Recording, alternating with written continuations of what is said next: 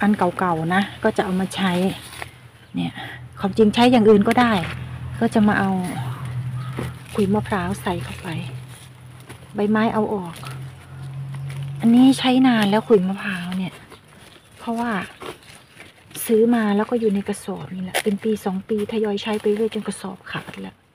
ก็ไม่ต้องหมักต้องอะไรอันนี้หัวบอลสีเก็บรวบรวมเอาไว้นะ แม่ใหญ่เอ็กบ้านสวนจะเอามาไว้ แล้วก็จะรอเพาะตรงเนี้ยยังอยู่ในกระถางนี่ใบยุบไปแล้วก็จะมาเคาะเอาดินออกขอความก่อนนะเดี๋ยวมันไม่ออกตรงนี้เนี่ยหัวก็จะผุผุบ้าง ถ้าเราไม่เอาออกมา ดินมันแน่นยิ่งลดน้ำลดบ้างไม่ลดบ้างเนี่ยหัวก็จะผุก็จะเน่าไปเรื่อยแล้วก็เกะออก เสร็จแล้วก็เอาไว้รอปลูกนะบดินมันยุบมากบอลสี หัวบอลสีมันก็ลงมาอยู่ข้างล่างเนี่ยเห็นไหมข้างในแล้วก็พยายามเอาออก งัดออกเลย ได้แล้ว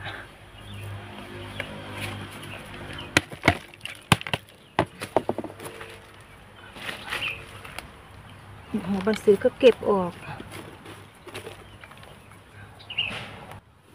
วันนี้เนี่ยบอลสีลื้อมาไม่ใช่ธรรมดานะ เนี่ย อันนี้ก็หกหลงเนี่ยบอลสีหกหลงมีแต่หัวใหญ่ ๆ เดี๋ยวจะแยกปลูกต่างหากไม่ได้ปนกัน ส่วนอันนี้ก็จะเอารวมๆกันเนี่ยวางไว้เลยเพื่อล่อลากก่อน ถ้าเอาไว้ในนี้ก็จะได้สีสวยๆเอามาวางเลยนะคะ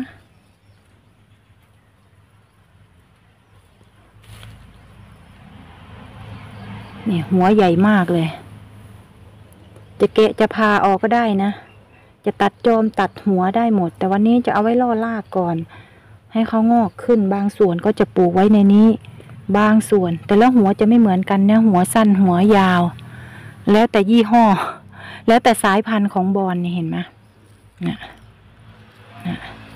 บางหัวเขาก็โดนน้ำบ้างอะไรบ้างเขาก็จะกรอบกรอบผุผุไป ก็จะวางวางไว้นะ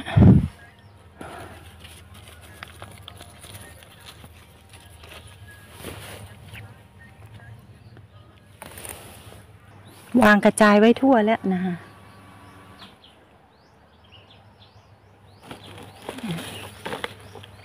ก็จะเอากุยมะพร้าวมาโรยโรยกบๆเอาไว้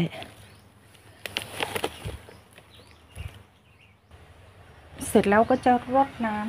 ำใช้น้ำจุลินทรีย์สังเคราะห์แสงนะคะ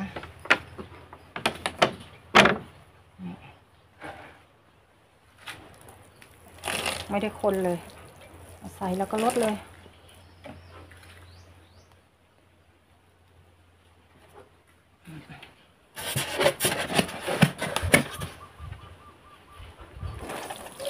น้ำก็จะไหลลงไปข้างล่าง อ่า เดี๋ยวแม่ใหญ่เอ็กก็จะหาอะไรมาคุมไว้ เพื่อล่อล่างนะแบบนี้เพราะเรามีหัวแข็งแรงแล้วไม่ต้องอะไรมาก โว้ วิ่งมาจากไหนนะโอ้กระต่ายโว้วิ่งมาจากไหน ก็จะคุมไว้แบบนี้ จะคุมหรือไม่คุมก็ได้ แต่ถ้าไม่คุมเราก็มาลดน้ำวันละครั้ง วันเว้นวันก็ได้ แล้วก็จะเอานี่ตั้งไว้ เนี่ย แค่นี้เองนะคะ อันนี้เป็นการล่อลากถ้าโตขึ้นมาเมื่อไหร่ ค่อยมาเอาไปปลูกนะคะ เดี๋ยวก็รอติดตามดูนะคะ เดี๋ยวจะอัปเดตให้ชมเรื่อยๆนะคะ